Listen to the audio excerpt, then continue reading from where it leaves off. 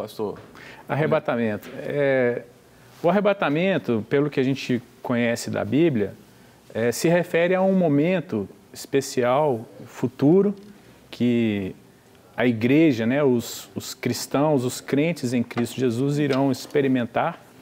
É, não sabemos o tempo né, quando isso vai acontecer, mas Paulo faz referência sobre isso, que haverá um momento em que nós que estamos vivos no dia desse evento, seremos de fato arrebatados, ou seja, tirados da terra, para o encontrar com o Senhor Jesus nas regiões celestiais, nos ares. Uhum. Então, esse é o, movimento de tirar uma população da terra. A igreja. A igreja, né?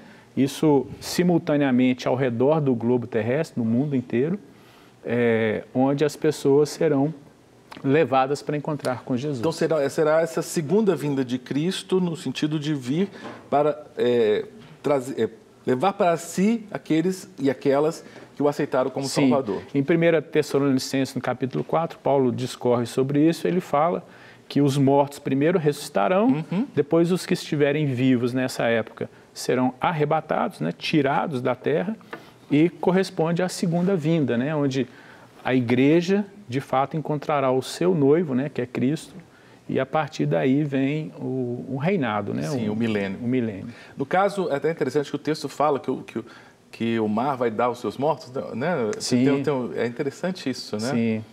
É... é... a esperança da gente que tem a Cristo, né, Juliano?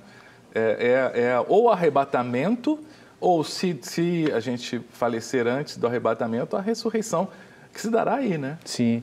Há uma outra passagem, se não me engano, do próprio Senhor Jesus contando, né, que um será tomado, o outro será deixado. É, isso, então, é um evento, como existem já filmes, né, Sim. retratando esse momento. É, então, vai ser algo marcante na Terra, né? É. É, vai pra, ser um e, espetáculo. E para ser arrebatado, não adianta ter carteirinha de membro da igreja, não. Não adianta. Não adianta. Você tem que ser nascido de novo, independente da, da sua é, denominação religiosa, você tem que ter uma experiência pessoal com Jesus Cristo, é. aceitá-lo como seu único e suficiente Salvador, dizer, Jesus, eu reconheço que o Senhor morreu na cruz por mim, vem e faz no meu coração morada, me arrependo. Você tendo feito isso, tenha certeza que quando Jesus voltar, você vai ficar com ele. Não é isso? Exatamente. Bom, vamos lá. Não quer ficar um segundo por fora da nossa programação?